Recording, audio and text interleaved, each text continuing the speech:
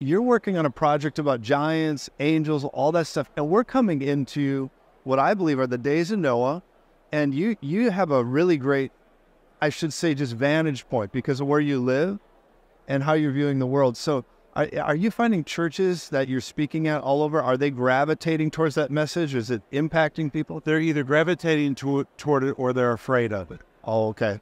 Because uh, honestly, there's a lot of sensational stuff out there, Yeah, and people people who are mature they don't like to go to sensational stuff. it's true. But honestly, Joseph, the stuff that was happening before the days of the flood, Yeah, it really is being replicated, and it's going to be replicated more as we come to the end of the age. yes, And you know very well, we've talked about it, yeah, that I went to the ruins of Noah's Ark. yes, And they're not on Mount Ararat. No, they're, they're the not. lower mountains of Ararat. yes. And I'm going to take you there. I can't wait. I am, you know, I kind of liken you to Indiana Jones a little bit because you you teach, you you instruct, and then you go to these exotic, amazing places. It's because of where I live. It's amazing what you, When do. you live in Moscow, you're just a couple hours from everywhere in that part of the world. It- the the trip to Noah's Ark, when we're talking about that, that's that's going to be kind of a rough and tumble trip, right? Like it's. Well, you know, I mean, I've been on a real rough and tumble trip. I know you. It's just when you get there, it's very rugged. But you know, when I tell most people I went to Noah's Ark, they say, "Yeah, we went to Kentucky and we saw that replica too." I'm not talking about. I've never been to the one. We're not Kentucky. going to Kentucky. But Joseph, when you go with me, you're going to be amazed because it is so massive. Exactly the dimensions given in the Bible. Wow. But when you walk on top of it, you got to you kind of look around and think, where where am I? What what is this? And you can see the ridge of it all the way around. You know, big hump in the middle, which was probably the atrium of the ship. The atrium. You can literally walk right up to the very bow of the ship. I can't. It just sticks right up out of the ground. I can't wait. Oh, Rick. We're going to have fun. But the things that were happening before the flood, Jesus said will be replicated at the end of the age. Yes. And before the flood, beginning in the days of Jared, the watchers begin to come down. Yes. And the watchers were angels Yeah. That God, in his kindness, assigned to help man in his fallen state. Now, think about it angels are only male. So in heaven, they had never been around females. Right. But when they began to watch over mankind and they saw women, that was something they'd never seen before, and they became obsessed with them.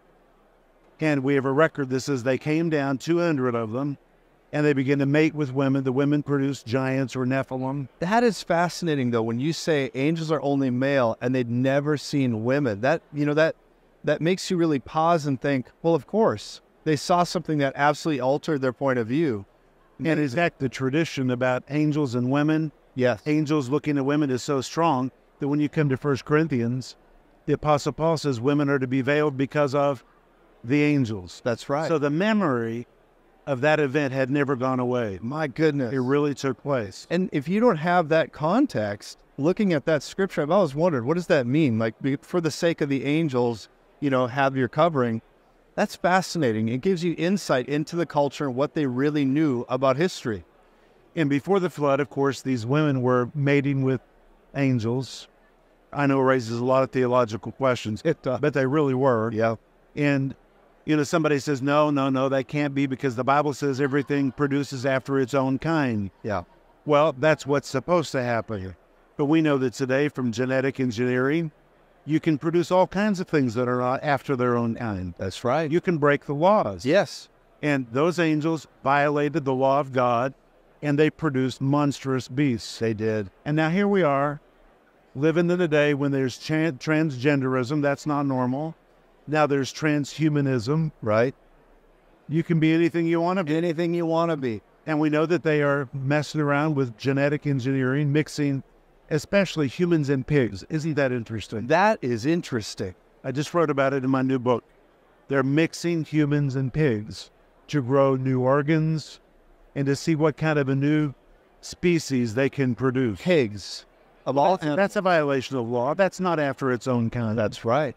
And so these things really happened and they are happening. Uh, it- it's fascinating when you, you consider the whole concept. You know, what you're teaching on, I believe, is a prophetic lens for what's going on in the scripture. I believe it's no mistake that you are really bringing Noah's Ark to a whole new audience. You're bringing it to light. You know, you're bringing so many things forward. And I believe it's because it's a prophetic mandate. Well, that's how I feel about you. Well, thank you, sir. You know, I love to watch you. I try to watch you every day. I don't always get to, but I try same. And when you go to the whiteboard and you start putting stuff on the whiteboard, I always say, Denise, how does he do that? Because it's so fresh. And honestly, Joseph, it's so accurate. Thank you, sir. And I really appreciate the insights which you're bringing forward to the body of Christ. And because of the medium that you use, which you have a massive audience, you're reaching a brand new group of people. And Joseph, you're reaching a lot of older people. You are. wow, Rick. People are really tuning in. Wow. And thank you for sticking with the Word of God. Well, thank you, sir. I, I believe that you and I have a prophetic assignment. I think we do. I believe the Lord really put us together I do too. to, to, to really walk out a generational calling. And I'm just so grateful. You know, I've followed you for so many years and, and just watching your ministry, gleaning from your ministry. And when the Lord began to align me to you, to be with you, I'll tell you, I feel like we're going to really help a lot of people by the grace of God because it's about the Lord gave me this word about the powerful twos. He bring twos together and that people would begin to get breakthroughs because of the right alignments. I think if you find your tribe, you find your calling. And Rick, you're my tribe. so I'm grateful for your fathering, your strength, your leadership. Thank you, Joseph. Yeah. So it's a, it's an interesting culture we're in right now, and I believe God is raising up the answer, and the answer is the ecclesia, and that's why I'm so grateful. What is ecclesia? Well, the ecclesia is the called out ones, and uh, I remember one day I used the word ecclesia because you hear that in different circles, and Rick was very gracious to me, and he said it's actually the word ecclesia. You got to understand the word. It's from ek, Ek. which means out. It's where you get the word exit, Uh huh. and the word kaleo, which means to call. Okay. So it's those that are called ek, they're called out to make an exit. okay. And that word ecclesia, it really is not a Bible word. It originated in the city of Athens, and it was the group who ran the affairs of the city. Wow. and they were called out. They were elected. It's it all has to do with election, predestination, and they came together 42 times a year, nearly once a week. Really? There was an orator who spoke at every meeting. They began with worship. It's it's just such a picture of the church. Now that has to play into your teaching on the apostle too, because then the apostle being the admiral, right? Or Right. And so, how does that play with the ecclesia? Or does that have a good tie-in where the apostle? Well, the I mean the apostle established churches Yes. in new territories. yes. But the ecclesia, what's important to understand is it was the dominating force in a city. That's amazing. It made the decisions, it made the policies, it decided who was included and who was excommunicated. And so when the Apostle Paul began to describe the church, he borrowed from that to really say the church is to be the dominant force in every city. Amazing. We're, we're not just a little church on the corner. We are to be God's prophetic voice Come on. in every city and every nation. That's who we are. That's who we are. Well, Rick, And that's why we're holding back evil. we're holding back evil. We are. restraining, like a restraining order against evil. That's right. Rick, you know, we're we're at NRB right now, Yes, we are. and you haven't been here for many years. And I've not been here since 2004. 2004. You know what I'm taken back by is how many people recognize you and come up and they've read Sparkling Gems or they've read one of your books, and people just say, "I've listened to you for years," and they're really honored to meet you. It's fun for me to watch them. We're having a lot of fun. We were on the airplane coming here yesterday, yeah, and the couple in front of us, I don't want to call their names, but they're quite well known. sure. And he turned around and he said, Is your name Renner? I said, Yeah, that's my name. That he said, me. A Sparkling Gems Renner? I said, Sparkling Gems Renner.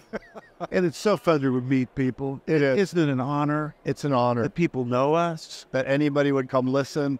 It's really an honor. They don't have to listen to us or read what we write. It's an honor. And Joseph, thank you for what you've been writing. Oh man, You know, I want to tell your viewers, anybody listening, Joseph has a new book coming out called Demystifying the Prophetic. oh Rick, I have read every word of that book. It is amazing.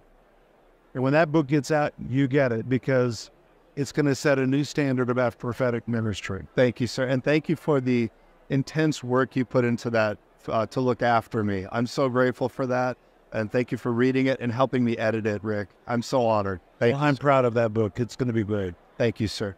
Well, Rick, it's been great having you today, and I know with you. There's a lot of people that are going to want to see you, and I'm so grateful that you took the time to be with me today. Thank you. I'm glad to be with you, Mr. Z. Well, well, we'll see you again very soon. Thank you, sir. Thank you. I want to say a very special thank you to our partners. Whether you've been a partner with us from the very beginning or if you've recently become part of our partner family, we simply want to say thank you. From the bottom of our hearts, thank you because it means so much that you're standing with us. We're accomplishing a lot together. And I'll tell you, if you're interested in becoming part of our partner family, I'd encourage you to go to josephz.com or text the keyword give to 719 259 0029. You know, we want to welcome you to the family and we will be calling you. If you become a partner, we call you regularly and we love talking to you. Our team calls you. It's not a call center, it's our team. We love our partners. I hope you'll consider it. I hope you're praying about it. And I hope you become a part of our partner family today. In today's world, there's a lot of noise and sensationalism by many claiming to hear the voice of God. They cite their predictions and their own experiences. Now, some are legitimate and some are not, but how do we know the difference? In some ways, prophecies become a mystified topic. Yet, as global chaos is obviously increasing, it is imperative that we must hear and know the voice of God and true prophecy. I'm Joseph Z, and I just wrote this book, Demystifying the Prophetic. Now, it's taken me my whole life of walking through the Word of God and my own encounters and experiences to bring this to a place where we land at biblical truth and sound doctrine, yet absolutely celebrating the precious gift of prophecy. In this book, I deal with everything from trances and dreams, visions, deja vu, even. Different types of prophets, we talk about it. We even cover the topic of false prophets. How do you determine who's true and who's false? We talk about discerning the times, navigating strange encounters. People talk about angels appearing to them, entities appearing to them, they hear voices. All of these unique things we begin to deal with at a very powerful level with this book. I bring you straight to the written word of God. And I want to say to you, isn't it time we understand the purpose of prophecy? After all, it is the spirit of prophecy that gives testimony to Jesus. It's time for results in your life. It's time for you to begin demystifying the prophetic. This book will help you. I promise you need this book. It'll break you out of containment. It'll bring you to a place of clarity and it will open up the understanding of the voice of God and prophecy functioning in your life by the written word of God. This is going to really help you. I encourage you to get your copy today by going to josephz.com.